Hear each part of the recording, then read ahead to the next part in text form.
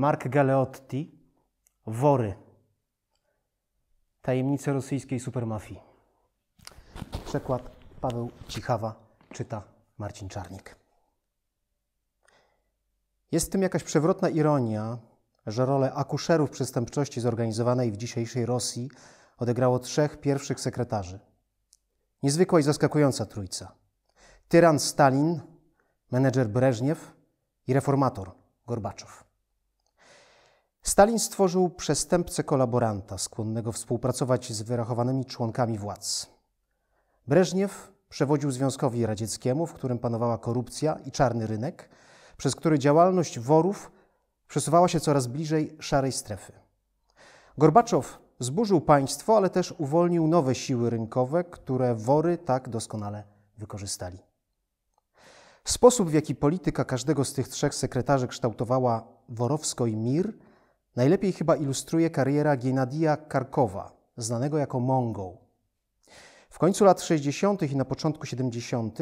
jego gang był postrachem magnatów moskiewskiego czarnego rynku i nadawał ton rodzącym się relacjom między gangsterami, przedsiębiorcami z szarej strefy i skorumpowanym państwem.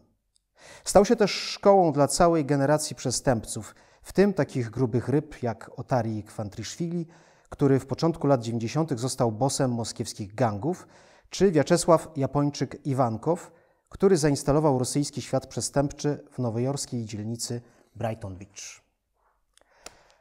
Karkow, czasem też zwany Korkowem, urodził się w 1930 roku w Kulebakach, 300 kilometrów na wschód od Moskwy. Był więc dzieckiem czasów stalinowskiej bezlitosnej industrializacji i II wojny światowej.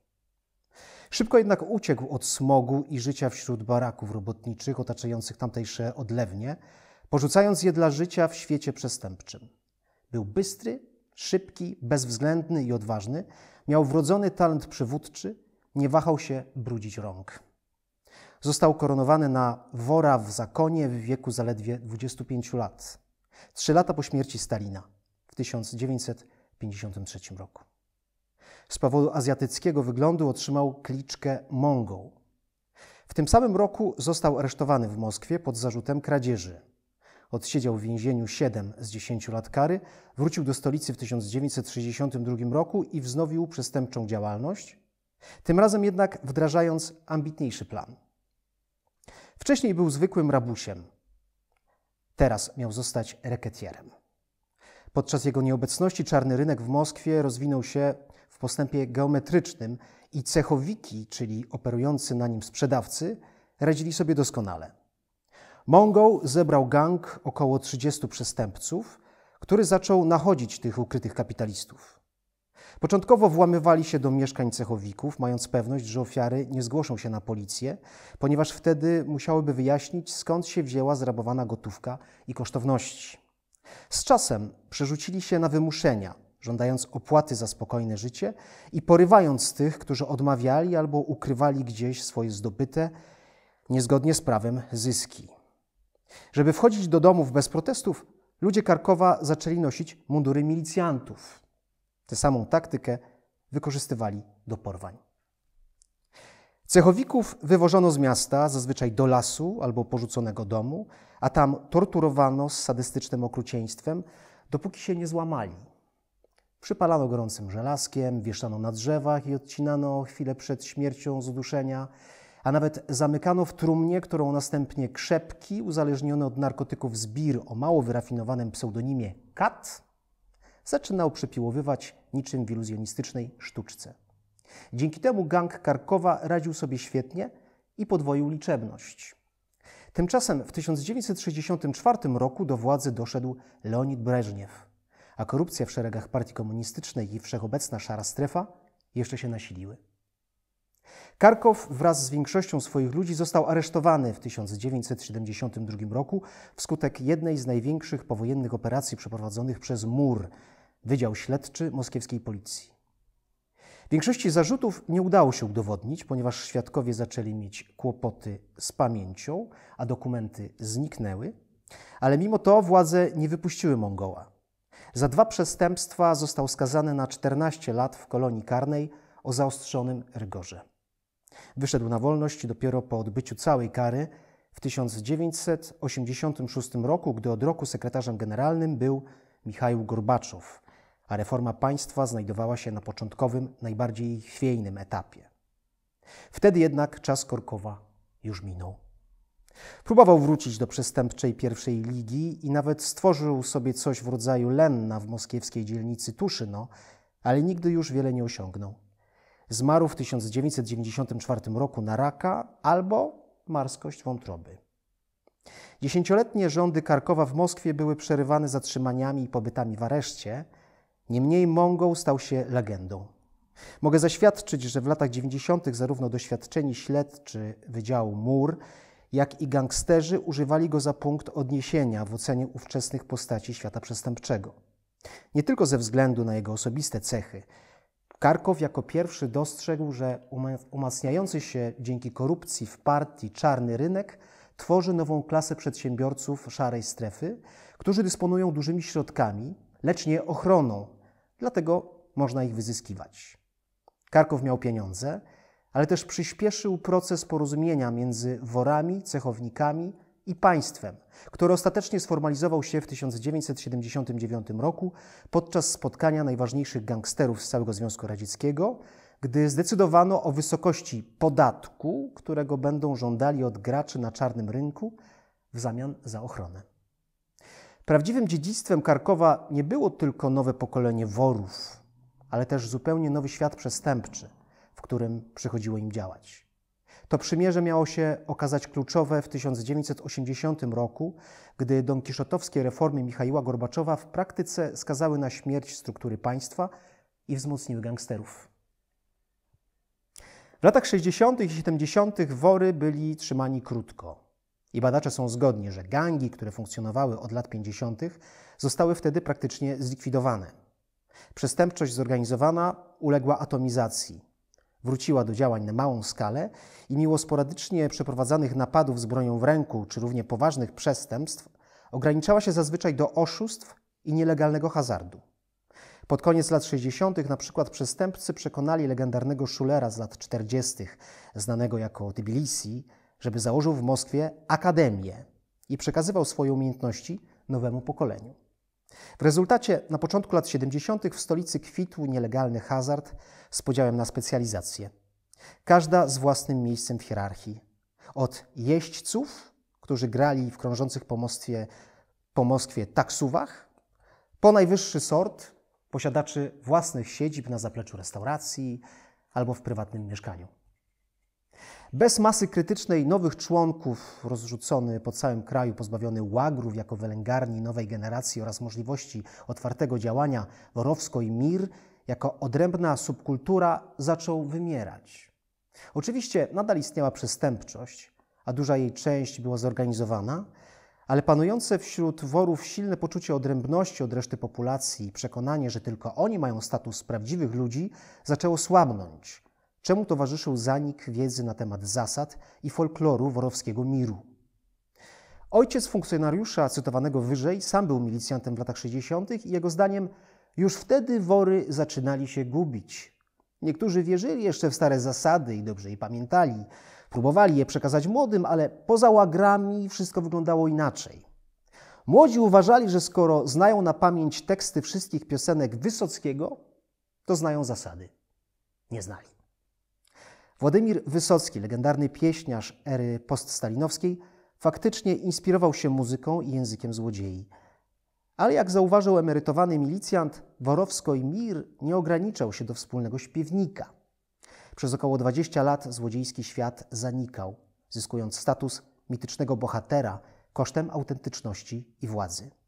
Skoro jednak zdołał przetrwać stalinizm, to i teraz czekało go wskrzeszenie w latach 70. Pod koniec rządów Breżniewa i za czasów Gorbaczowa. Warowsko i Mir miał wypłynąć w świecie przestępczym wykorzystującym możliwości szarej strefy i łapownictwa, ponieważ otwarte stosowanie przemocy niemal zawsze wywoływało gniew przedstawicieli państwa. Historia Karkowa, który jako wor w zakonie wykorzystał możliwość żerowania na przedsiębiorcach szarej strefy, była zapowiedzią kolejnej transformacji worowskiego miru do działania na czarnym rynku. Szczególnie w latach 70. zwykli obywatele Związku Radzieckiego byli przekupywani owocami wczesnego konsumpcjonizmu. Lodówka, telewizor, może nawet samochód. Ale własni, ludzie władzy, od początku chętnie wykorzystywali otrzymaną swobodę, żeby mościć swoje własne gniazda na znacznie większą skalę, budując sobie pałace letnie, paradując w importowanych ubraniach, prowadząc wystawne i łatwe życie. Jak mówi rosyjskie przysłowie, ryba psuje się od głowy, a zinstytucjonalizowana korupcja sowieckich elit nie tylko coraz bardziej utrudniała kierowanie państwem i uniemożliwiała jego zreformowanie, jak miał się przekonać Gorbaczow, ale też zwiększała stopień skorumpowania całego społeczeństwa. Pierwsi bolszewicy uznawali korupcję nie tylko za moralny upadek, lecz także symptom przed i antyrewolucyjnych postaw oraz realne zagrożenie. Nie byli jednak w stanie panować nad nią bardziej niż Stalin. Pod jego rządami zgubne połączenie głodu i desperacji z jednej strony oraz bezkarności wszechmogących oficjeli z drugiej sprawiło, że stała się ona integralną częścią systemu. Mając kariery i premie uzależnione od często nierealistycznych założeń planu pięcioletniego, kadra kierownicza i oficjele sięgali po nielegalne metody, żeby wykonać swoje zadania, albo przynajmniej sprawić takie wrażenie. W większości przedsiębiorstw funkcjonował tołkacz, dosłownie popychacz, który dzięki swoim koneksjom Pozyskiwał siłę roboczą, surowce, części zamienne, transport i wszystko, co było konieczne do osiągnięcia wyznaczonych celów. Oczywiście w miejscu pracy, od łagrów po instytucje rządowe, ci, którzy posiadali władzę, żądali też daniny od swoich podwładnych za awanse, dodatkowe świadczenia albo najzwyklejszy spokój. Tymczasem zwyczajny sowiecki obywatel płacił łapówki, żeby otrzymać towary, do których miał prawo, ale były deficytowe, oraz zyskać dostęp do tych towarów, usług i możliwości, które mu się nie należały. Samuel Huntington jest autorem pamiętnych słów, że jeśli chodzi o wzrost gospodarczy od społeczeństwa ze sztywną, scentralizowaną i nieuczciwą biurokracją, gorsze jest tylko społeczeństwo ze sztywną, scentralizowaną i uczciwą biurokracją. Obywatele sowieccy prawdopodobnie by się z nim zgodzili. Tak zwany system socjalistyczny stał się piramidą drapieżnictwa, ponieważ ci na samym dole płacili znajdującym się wyżej, często także za to, co im się po prostu należało. Oprócz zależnej od sytuacji korupcji na poziomie jednostek, istniały również układy korupcyjne na skalę przemysłową, które wyłoniły się wskutek słabości struktur państwa poststalinowskiego. Zależność od klientelizmu, brak mechanizmów gwarantujących zachowanie równowagi politycznej i powszechna zgoda na nielegalne działania nieformalnych grup decydentów, zwłaszcza w regionach, doprowadziły do powstania mechanizmów okradających największą świnkę skarbonkę, czyli państwo. Szczytowym osiągnięciem była zapewne uzbecka afera bawełniana, w której ramach szef tamtejszych struktur partyjnych Szaraf Raszydow wraz z prominentnymi członkami partii i urzędnikami państwowymi tej Środkowoazjatyckiej Republiki, włącznie z funkcjonariuszami tamtejszego KGB, przez 10 lat wyłudzili około 3 miliardów rubli w płatnościach za bawełnę, której nigdy nie zebrano z pól należących do gospodarstw nigdy nie istniejących. Do Moskwy płynęły raporty zaświadczające o niezwykłej sprawności i dyscyplinie podczas kopania nowych kanałów nawadniających oraz biciu kolejnych rekordów wydajności z hektara. Nic dziwnego, że bawełnę określano mianem białego złota.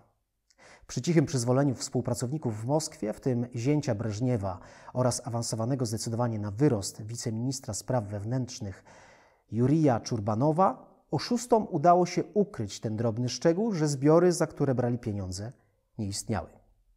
Kręgi wzajemnych zależności i zobowiązań były tak szczelne, że gdy Jurij Andropow, ascetyczny dowódca KGB, który został sekretarzem generalnym partii w 1982 roku, postanowił ukarać oszustów, musiał sięgnąć po środki nadzwyczajne. Satelity szpiegowskie ujawniły zarośla i step w miejscach, gdzie miały się rozpościerać żyzne pola. Reszydow zmarł w trakcie swojej kadencji. Niektórzy podejrzewają samobójstwo. A po wszczęciu śledztwa aresztowano setki osób. Potem nastąpiły zwolnienia z pracy, wyroki więzienia, i dalsze samobójstwa. Chociaż afera bawełniana jest przykładem ekstremalnym, to faktem pozostaje, że odzwierciedlała zakres patologii u schyłku ery sowieckiej. Raszydow był wcześniej fetowany i wyróżniany, włącznie nawet z otrzymaniem wielu orderów Lenina za autentyczne sukcesy w utrzymaniu kontroli nad Uzbekistanem podczas rządów trzech kolejnych sekretarzy generalnych Związku Radzieckiego oraz rzekome sukcesy w realizowaniu i przekraczaniu norm gospodarczych. Nie trzeba chyba dodawać, że utrzymanie kontroli leżało w jego interesie, a sukcesy częściej miały źródło w fikcji niż w faktach. Jak słusznie zauważył jeden z oskarżonych w aferze bawełnianej, przestępstwa takie jak łapownictwo, upiększanie meldunków produkcyjnych i złodziejstwo stały się normą. Nie ma żadnej poważnej próby, żeby je zwalczyć. Dlatego ani jednej sprawy nie da się załatwić bez zapłacenia łapówki. Czy w czasach, gdy nawet najpotężniejsi i najwyżej oceniani ludzie chętnie uciekają się do korupcji, żeby zachować swoją uprzywilejowaną pozycję, może być zaskoczeniem to, że zwykli obywatele, doświadczając względnego spadku jakości życia, też sięgali po nielegalne środki?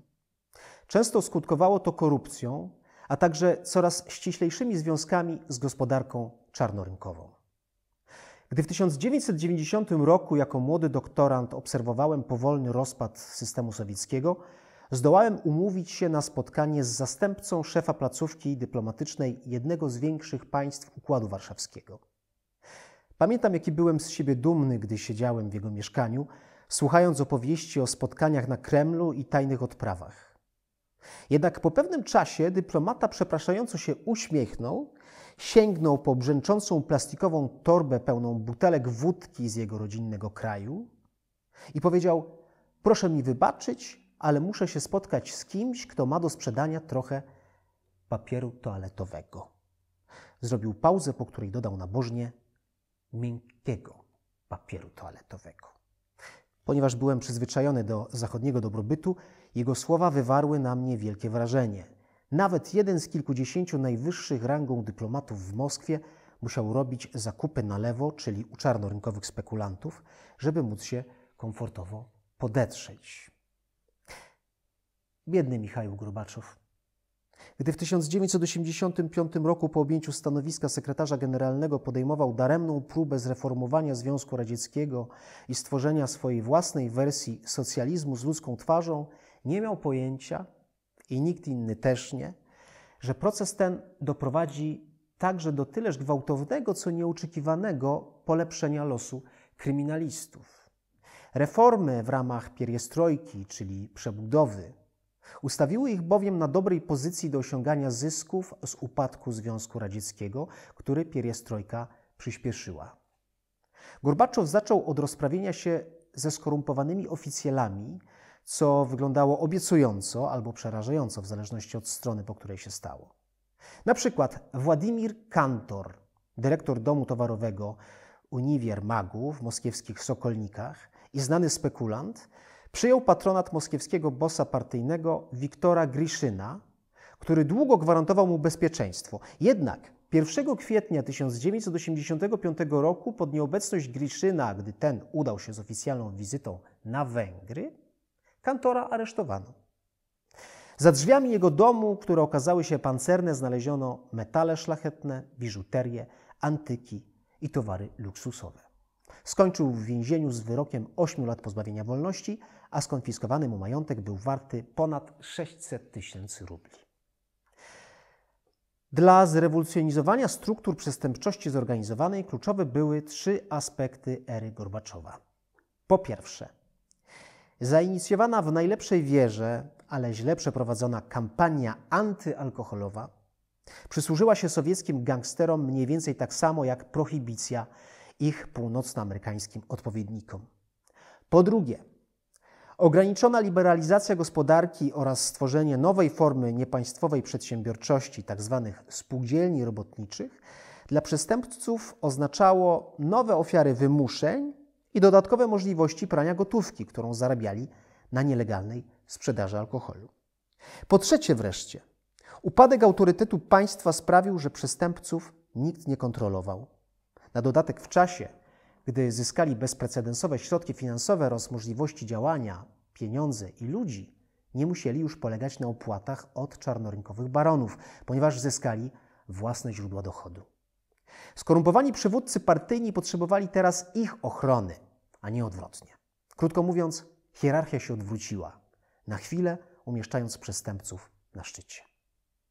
Gdy ostatecznie Gorbaczow był zmuszony zaakceptować to, co nieuniknione i pod koniec 1991 roku podpisał akt kończący istnienie ZSRR, przestępczość zorganizowana była już silnie obecna na ulicach, w gospodarce i nawet na scenie politycznej. Kilka dni przed rozwiązaniem Związku Radzieckiego około 30 wyższych rangą worów z całego kraju odbyło schodkę w willi niedaleko Moskwy. Celem ich spotkania było ni mniej, ni więcej tylko osiągnięcie kilku porozumień na temat sowieckiego świata przestępczego, choć państwo sowieckie stało nad grobem. Uzgodniono m.in. wspólny front przeciwko gangom z północnego Kaukazu i wstępnie podzielono między sobą wpływy w całym kraju. To, co wyglądało na cudowną koordynację, w praktyce, jak się okazało, miało marginalne znaczenie, ponieważ upadek Związku Radzieckiego pociągnął za sobą upadek starych założeń. Otworzył nowe możliwości, zmuszając rosyjski świat przestępczy do zaciekłej walki o rynki, zasięg terytorialny i precedencje. W walce tej zaś nie oglądano się na państwo i jego siły. Wcześniej gangsterzy byli najsłabszym partnerem w przestępczym triumviracie, tworzonym ze skorumpowanymi oficjelami i magnatami czarnego rynku. Teraz, na krótki czas, stali się partnerem dominującym. Jeśli bowiem uznać Gorbaczowa za akuszera rosyjskiej przestępczości zorganizowanej, to pierwszy prezydent postsowieckiej Rosji, Borys Jelcyn, był jej mamką. Niebezpieczne jest życie człowieka, który ma zostać królem, i jest ono, jak się okazuje, warte tyle, co średniej wielkości samochód osobowy marki Łada.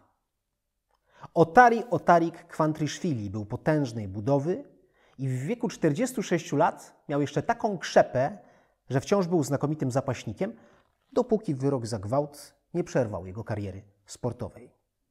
Był też człowiekiem ostrożnym, dlatego pod marynarkę wkładał kamizelkę kuloodporną, ilekroć wychodził do miasta. Być może właśnie dlatego snajper, który go dopadł przed ulubioną łaźnią, wycelował w lewą pachę, dzięki czemu trzy kule ominęły kamizelkę kuloodporną i rozerwały tors. Był kwiecień 1994 roku. Połowa kadencji prezydenta Borysa Jelcyna, gdy nowa postsowiecka Rosja musiała sobie radzić z gwałtownymi niepokojami społecznymi, a zabójstwa na zlecenie były na początku dziennym. Mimo to zabójstwo Kwantriszwilego stanowiło punkt zwrotny w historii świata przestępczego tego kraju. Kwantriszwili i jego brat Amiran byli Gruzinami. Obydwaj należeli do gangu Mongoła. Amiran był oszustem karcianym, Otari zaś mięśniakiem. Gdy jednak gang ten został rozwiązany, Otarik założył własny. Zebrał kilku sportowców, w tym mistrza judo Aleksandra Byka oraz boksera Iwana Cygana, z którymi popełniał różne przestępstwa, od wymuszeń haraczy po nielegalny handel obcymi walutami. Jednak Kwantriszwili szybko przeszedł do legalnego sektora jako jeden z przedsiębiorczych gangsterów, którzy wykorzystywali wszystkie możliwości liberalizacji z lat 80. Ustanowił Fundusz Ochrony Socjalnej Sportowców, który oficjalnie działał jako wygodna przykrywka do werbowania i utrzymywania płatnych osiłków, funkcjonując też jako centrum przemytnicze i firma na czarnym rynku. Później, w 1988 roku, założył Stowarzyszenie XXI wieku. Organizowało ono koncerty i imprezy dobroczynne, formalnie zbierając fundusze na wspieranie sportu. W rzeczywistości jednak było czymś w rodzaju holdingu firm zajmujących się przestępczą działalnością gospodarczą. Kolejne jego przedsięwzięcie nosiło nazwę Akademia Sportu. Była to jednak zamknięta spółka akcyjna i w 1993 roku zostało zwolnione z podatków eksportowych i importowych przez samego Borysa Jelcyna. Akademia nie prowadziła żadnych zajęć sportowych. Stała się za to agentem pośredniczącym w eksporcie milionów ton rosyjskiego aluminium, cementu i tytanu, imporcie towarów konsumpcyjnych o wartości wielu milionów dolarów oraz sprzedaży detalicznej tych towarów poprzez sieć kiosków, które przestępczość zorganizowana zmonopolizowała już wcześniej. Kwantriszwili nie tylko unikał odpowiedzialności karnej, lecz także stał się kimś w rodzaju celebryty. Oficjalnie zaprzeczał swoim związkom z przestępczością, zawsze jednak znacząco kiwając głową i puszczając oko do rozmówcy. Na przykład w 1990 roku został sfotografowany blisko Jelcyna podczas meczu tenisowego. Stał się bywalcem moskiewskich wyższych sfer i przyjacielem piosenkarza Josifa Kobzona z powodu bliskich związków z rzekomymi gangsterami, często nazywanego rosyjskim Frankiem Sinatrą, oraz wiernym fanem pieśniarza Aleksandra Rosenbauma, który później na jego pogrzebie lamentował, że kraj stracił, nie obawiam się użyć tego słowa, przywódcę. Kwantriszwili był też zdolnym politykiem świata przestępczego. Potrafił bowiem omijać spory wybuchające między innymi gangami, zwłaszcza czeczeńskimi i rosyjskimi. To jednak najwyraźniej uderzyło mu do głowy. Pod koniec 1993 roku oznajmił, że wkracza na arenę polityczną kraju, zakładając partię sportowców. Jednocześnie rozgłosił w moskiewskich kręgach przestępczych, że zamierza się domagać stanowiska bossa przestępczego świata stolicy. Niewątpliwie był najpotężniejszym przestępcą w mieście. Nie docenił jednak egalitarnej i przekornej natury worowskiego miru. W 1994 roku przywódcy pozostałych gangów w mieście odbyli schatkę. Postanowili, że Kwantriszwili musi zniknąć, a wykonanie tej decyzji powierzyli szefowi gangu Oriechowo-Miedwiedkowo Siergiejowi Butorinowi. Niedługo potem Kwantriszwili został zastrzelony przez Aleksieja Szerstobitowa, Losza Soldat, prawą rękę Butorina, a jego śmierć miała być lekcją poglądową, że nikt, a zwłaszcza Gruzin, nie zostanie szefem wszystkich szefów na wzór włoskiej mafii. Jak powiedział mi później jeden z uczestników tego spotkania, Moskwa to nie Sycylia. Szerstobitow, który za to zabójstwo został skazany 14 lat później, po oddaniu snajperskich strzałów dostał wspomnianą wcześniej ładę. Zapłatą dla pozostałych przestępców było wznowienie walk wszystkich ze wszystkimi, które odzwierciedlały chaos w państwie. W latach 90. Rosja przechodziła kryzys finansowy i polityczny, próbując zdefiniować siebie i swoje miejsce w świecie. Rosyjski świat przestępczy natomiast spędził większość tej dekady na gwałtownej ekspansji we wszystkich zakątkach gospodarki, ale też wojnach terytorialnych, które towarzyszyły powstawaniu, upadkowi, jednoczeniu się, podziałom i rywalizacji gangów. Była to dekada strzałów z jadących samochodów, wybuchów bomb pod samochodami i dosłownego rozkradania całych gałęzi przemysłu, podczas gdy siły porządkowe wydawały się wobec tego wszystkiego bezsilne.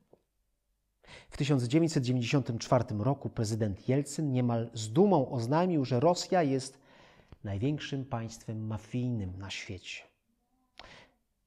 Z pewnością nie uczynił wiele, żeby to powstrzymać, a jego koledzy byli głęboko zaangażowani w istną kryminalizację kraju.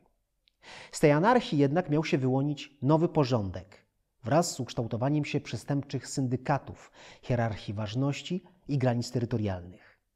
Wory zaś wykorzystywali ten czas, żeby się odkryć na nowo, dostosować do jakże różnych potrzeb i możliwości tamtych czasów. Prezydentura Jelcyna była dla przestępczości zorganizowanej idealnym inkubatorem. Zachodziły wtedy wielkie zmiany, włącznie z powszechnym pogłębianiem się różnicy między bogatymi a biednymi. Moskwę zaczęły zdobić krzykliwe neony, a Mercedes-Benz sprzedawał więcej limuzyn pancernych w Rosji niż we wszystkich pozostałych krajach świata razem wziętych. Ale przed wejściami do stacji metra stały rzędy zdesperowanych emerytów sprzedających wszystko, co mieli. Krzesło, w połowie zużytą tubkę pasty do zębów, obrączkę ślubną, żeby jakoś związać koniec końcem. Policjantom, źle opłacanym i gorzej uzbrojonym od bandytów, często brakowało paliwa do radiowozów i amunicji. Zostałem kiedyś zaproszony do radiowozu patrolującego Golanowo, dzielnicę we wschodniej Moskwie, z dala od atrakcji turystycznych i terenów inwestycyjnych. Niepokojący był już sam fakt, że najpierw wręczono mi wojskową kamizelkę kuloodporną, potem jednak niepokój jeszcze się nasilił, gdy zobaczyłem, że raczej nie spełni ona swojego zadania, skoro w kilku miejscach, zarówno na piersi, jak i na plecach, pociski przedziurawiły ją na wylot. Chyba więc nic dziwnego, że patrol polegał na przejechaniu po głównych ulicach z wielką prędkością i migającą niebieską sygnalizacją świetlną. Funkcjonariusz siedzący obok mnie ściskał pistolet maszynowy AKR, a zatrzymaliśmy się dopiero po powrocie na posterunek, gdzie znów było bezpiecznie.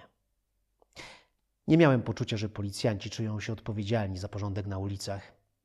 Dlatego przypomniały mi się raporty carskich policjantów, którzy wkraczali do slumsów tylko wtedy, gdy było to konieczne i tylko w dużej grupie.